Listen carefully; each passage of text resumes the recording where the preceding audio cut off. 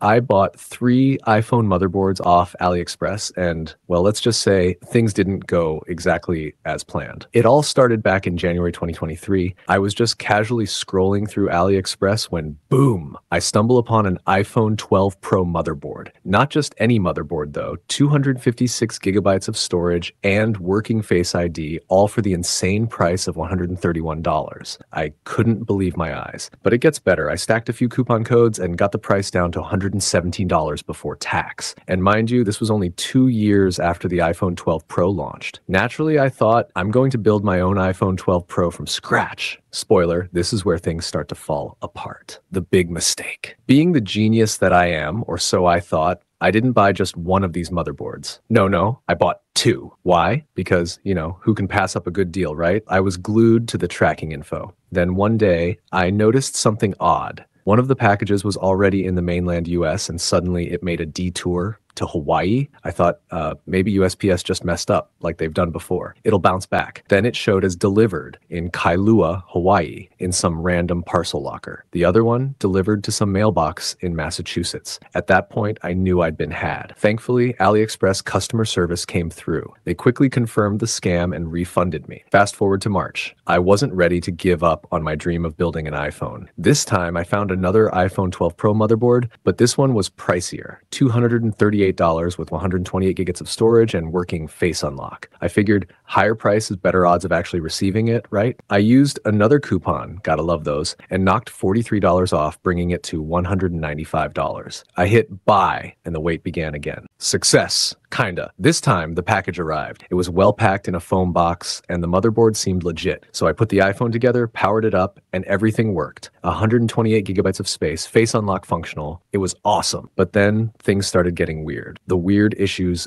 begin. First off, the battery drained like crazy. I'm talking, leave it for three hours and it's completely dead from 100% to 0%. I blamed it on the cheap battery I bought. That's on me. But then the bigger issue. I couldn't update the phone. No matter what I did, it wouldn't install the latest iOS. After weeks of frustration, I finally plugged it into iTunes and attempted the update that way. It took several tries, but eventually it worked. Here's where my paranoia kicks in. After the update, the battery suddenly improved. Now, I'm not saying it's definitive, but I suspect there was some sort of malware or spyware on the motherboard that was draining the battery and preventing updates. Once I wiped it clean with iTunes, things seemed normal again. So, what's the verdict? While I finally have a functional iPhone 12 Pro, the idea that there might have been malware on it still lingers in the back of my mind. Can I ever fully trust this phone? Probably not. Moral of the story if you're going to build a phone from parts off AliExpress, be ready for anything. You might save some cash, but the risks, they're very real. That's my AliExpress iPhone adventure. What do you guys think? Would you ever try building a phone from scratch like this, or is it just too risky? Let me know in the comments.